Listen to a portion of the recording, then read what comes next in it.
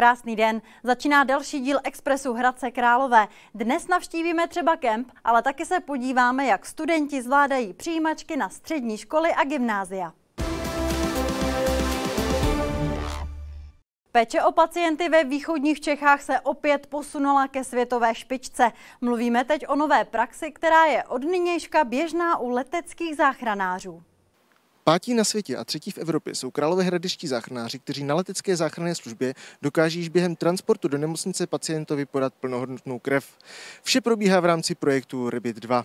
Rebit 2 navazuje na dosavadní projekt nebo postup, kdy jsme vážně zraněným lidem před nemocniční péči podávali krevní plazbu a zároveň červené destičky. Od začátku června se tedy ve vrtulníku letecké záchranné služby nachází plnohodnotná krevní transfuze nula negativní. Ty transfuzní přípravky podává posádka letecké záchranné služby, pokud lékař dospěje k názoru, že ten nemocný splnil indikační kritéria. No, jestliže je přivážen pacient, kde už ve vrtulníku je eh, dávána pacientovi krev, tak tady pokračujeme v podávání té krve, pokud se samozřejmě potvrdí závažné krvácení.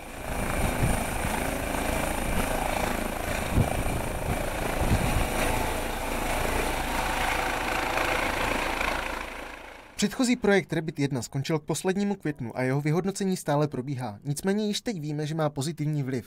Zcela jistě se ukazuje ale, že pacientům bylo dáno méně náhradních roztoků, které potenciálně mají i své nežádoucí účinky, čili ten benefit z této studie eh, se ukazuje. Letečtí záchranáři přiváží krev ve speciálních boxech a každý den je obměňují, aby nedošlo k jejich znehodnocení. Pro východu českou televizi Erik Vidlák. Žáci devátých tříd usedli do lavic k přijímacím zkouškám. Na každé škole doprovázela první den přijímaček přísná hygienická opatření. Bylo to složitější než, než v předchozích letech, právě proto, že je všecko jinak, že všecko, co jsme si mohli vypůjčit z těch předchozích let, tak nešlo. Eh, máme 250 dětí, které dneska v tom špatném počasí přišli. Eh, bylo složitější je udržet, aby dodržovali rozestupy. Před školami se tvořily zástupy žáků, kteří čekali, až je po kontrolách vpustí dovnitř. Učitelé pomáhali při dodržování hygienických opatření a rozřazovali žáky do tříd. Rodičům byl vstup do budov škol zakázán. Toalety, učebny u vchodu, máme dezinfekční prostředek, papírové ručníky, jsme vybaveni standardně jako každá škola. Žáci se během nouzového stavu a uzavření škol museli soustředit jak na online výuku, tak i na svou přípravu na přijímací zkoušky. Já si myslím, že to byla výhoda, protože jsme měli víc času a já jsem si dělal různé testy. Byla to bída, ale tak dělala jsem nějaký testy, z matiky hlavně. Měl jsem doučování na matematiku a doma jsem ještě dělal nějaké ty přípravné testy. Po dokončení přijímacích zkoušek na všech středních školách začnou ústní části maturitní zkoušky. Pro východočeskou televizi V1 Tereza Karanská. Život se po epidemii vrací do normálu, ale otazníky stále visí třeba nad tím, jak a kde budou Češi trávit letní dovolenou. Vyrazí do zahraničí nebo zůstanou v tuzemsku. Kempy budou letos praskat ve švech.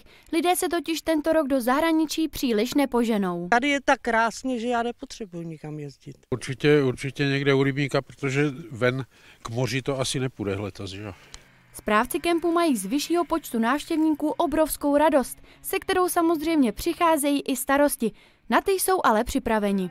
Já se těším moc, nicméně připravujeme se průběžně a budeme, budeme to muset korigovat eh, s tím, co se bude dít a budeme, budeme prostě průběžně nastavovat nějaká pravidla. Je tady toho spoustu nového, ale myslím si, že to zvládneme.